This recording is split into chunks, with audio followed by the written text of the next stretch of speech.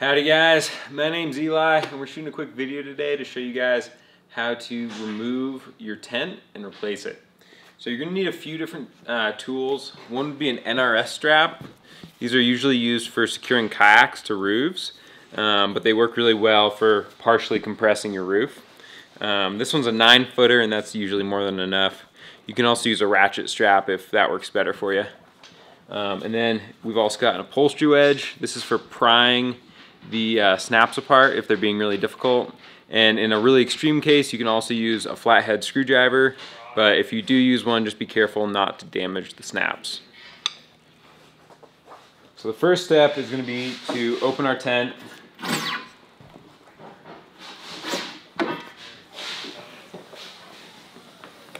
And then next would be to, uh, if you want, remove your floor panels um, it can just be easier to, you know, get in and out of your tent if the floor panels are in there, but that's up to you. This is our second gen tent. Um, we're just gonna snap it out and snap it back in. The process would be the same whether you have a first gen tent or our most updated tent with the side doors on it. So what you wanna do first is partially compress your tent. So we'll get about there grab our NRS strap and thread it through our grab bar at the top and then down through the hole in this corner piece on the bottom of our tent. Having per another person help you with this step can be useful but isn't necessary. Uh, so the NRS strap is going to keep the tent partially compressed. That way you have a little bit more working room and the tent isn't pulling the snaps tight. Um, so I usually like to work from the top, starting at the front of the tent. Just kind of get your fingers in and pry outwards against the snaps. And they should start to come unsnapped. So work our way up like this.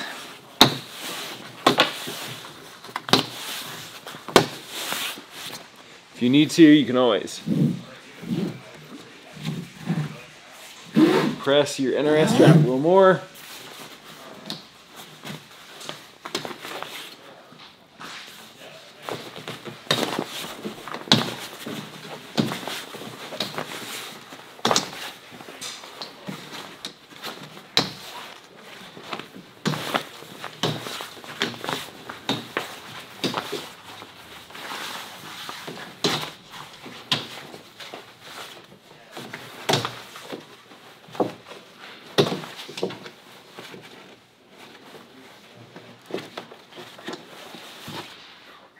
So if you have any snaps that are being difficult like this one, you can take your upholstery wedge or screwdriver, get behind the snap and kind of pry outwards on it.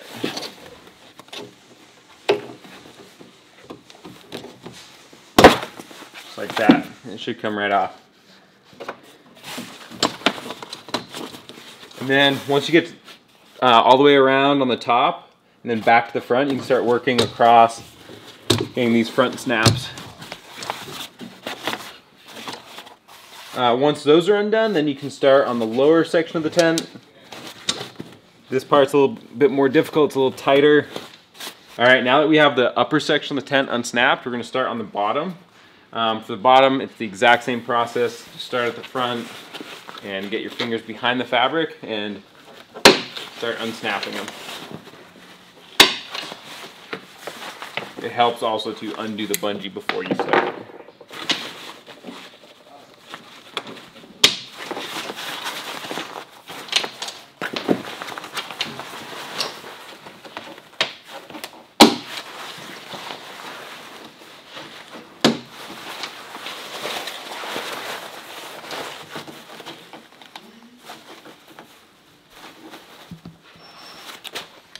Again, this is another one that's been a little difficult, so we can just take our screwdriver or upholstery wedge, just pop that one out.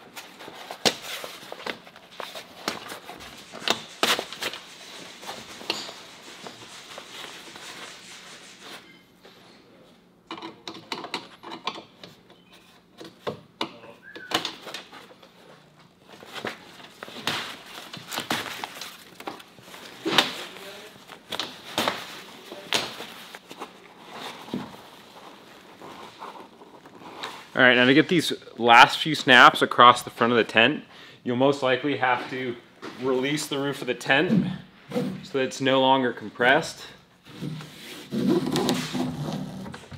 That way you have a little bit more working space to jam your fingers into this front uh, groove in the extrusion.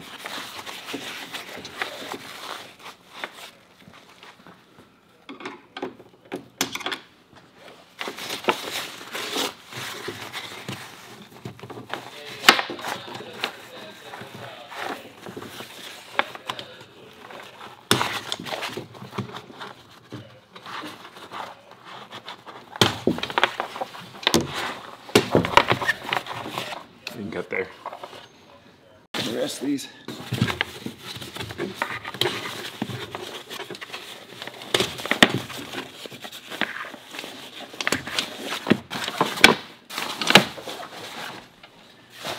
All right, so now we've got our whole tent unsnapped. We just pull out of the way and then get our replacement tent to put back in.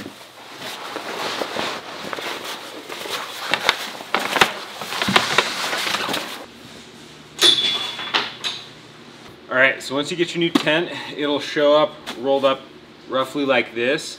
Um, what we want to do before we install it is unroll it and make sure that the side doors, um, if you have side doors or windows, are uh, oriented properly.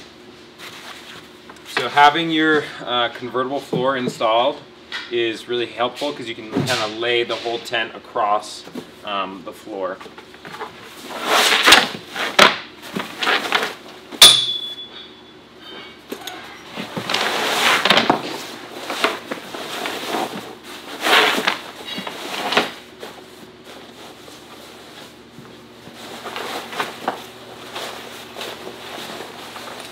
So I found my rear door and I found the top of my door where the zippers end. So I know that that's up.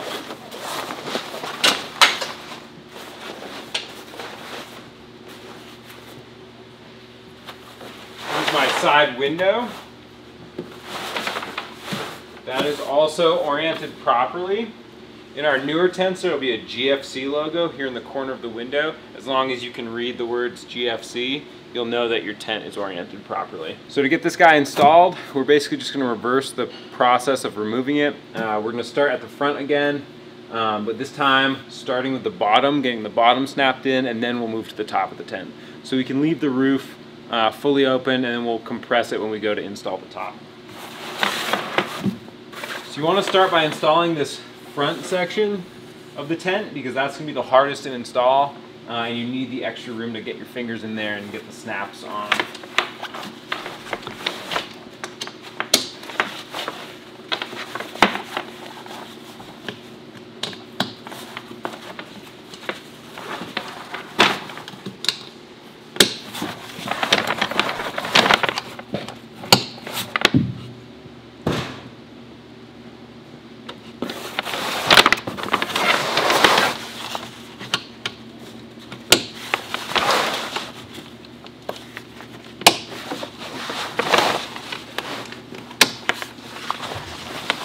Right, now that that lower section of the front of the tent is on, we're gonna start on the sides.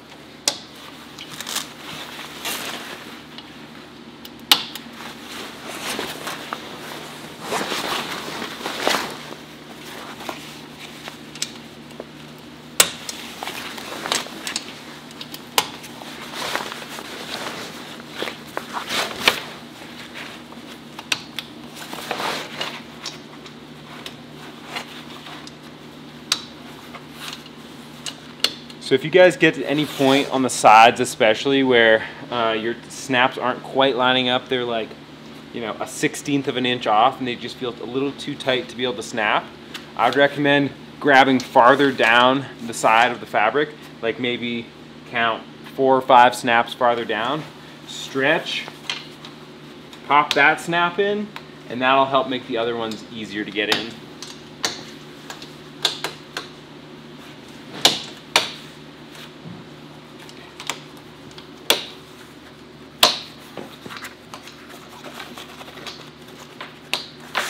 All right, now that we've got the bottom of the tent installed, we're gonna go ahead and recompress the roof.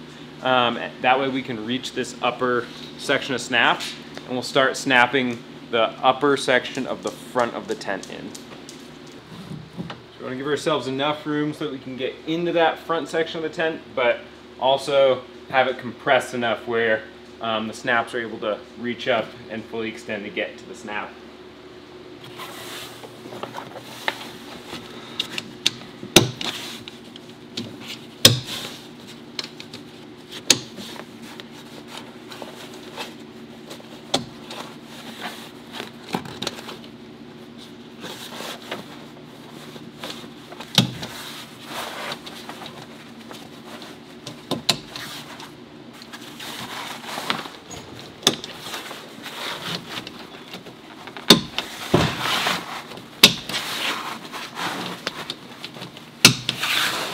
Once I get to about here, I'm gonna go ahead and go inside the tent and start uh, popping the snaps in from the inside just because they're a little easier to reach instead of having to like stand on my tiptoes and then reach in.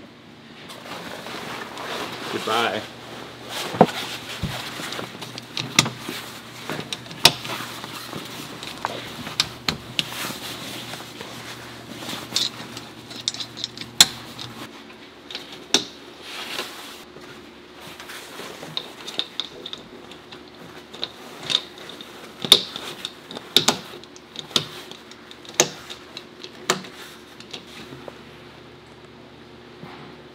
All right, now that the tent is installed, we can go ahead and release the roof.